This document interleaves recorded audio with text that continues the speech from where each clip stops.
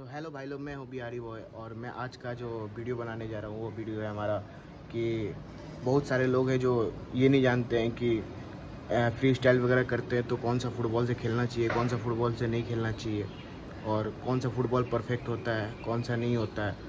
तो आज मैं आप लोगों को बताऊँगा कौन सा फुटबॉल से आप लोगों को खेलना चाहिए, जिससे कि आप लोगों को बहुत सारा बेनिफिट होगा, जो कि मैंने गलती की है पास्ट में।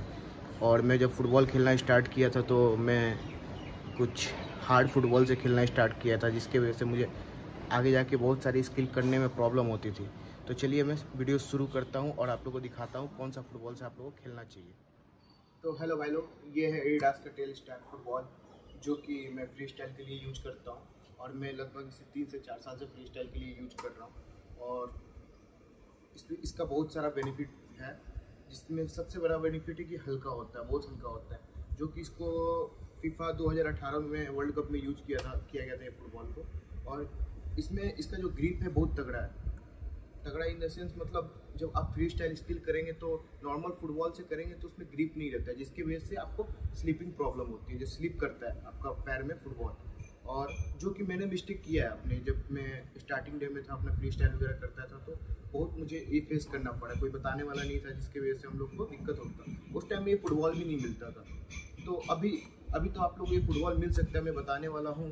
तो ये है एडिडास का टेल स्टार 2018 में यूज़ किया इसका डुप्लीकेट बहुत सारे अमेजोन पर मौजूद है, जो कि आप मत लीजिएगा। डुप्लीकेट पहचानने का भी मैं आपको एक तरीका बता दूँगा, कैसे पहचाना जाता है, कैसे नहीं पहचाना जाता है। तो अगर, देखिए, अगर ये फुटबॉल आप यूज़ करेंगे तो मैं आपको सबसे पहले दिखाता हूँ इसका ग्रिप कैसे, कहाँ होता है। ये जो छोटी छोटी सी ग्रिप होती है छोटी छोटी सी एक लाइनिंग दिया होता है, जो कि ग्रिप होता है यहाँ पे इसमें। ठीक है? और इसका बेनिफिट आपको तब पता चलेगा जब आप वो फुटबॉल से खेलेंगे, ये फुटबॉल से खेलेंगे फ्री स्टाइल करेंगे तो। चाहे आप इससे फुटबॉल भी खेलेंगे तो आपको बहुत सारी बेनिफिट है, क्योंकि ये, इसी को फुटबॉल में यूज़ किया जाता है। इसका सबसे बड़ा पहचानने का इंडिया में तरीका ये है कि आप कभी भी देखिएगा फुटबॉल सीला हुआ नहीं होता है। सीला हुआ नहीं होता है। अब मैक्सिमम इंडिया में जो फुटबॉल मिलते हैं, वो सीला हुआ होता है। और मैंने जब जब मुझे नहीं पता था, मैं अमेजोन से मंगाता था तो वहाँ फुटबॉल सीला हुआ दिया जाता था। और सेम इसका कॉपी मिलता था मगर वो रियल फुटबॉल नहीं है। तो आप लोग को बेसिकली सबसे फ़र्स्ट ये ध्यान देना है कि सिला हुआ नहीं होना चाहिए।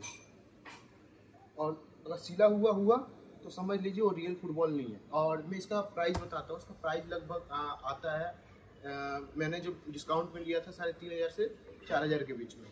आप बोलेंगे तो मैं लिंक भी डाल दूँगा और कोई बात पूछना हो तो आप मुझे कमेंट कर सकते हैं।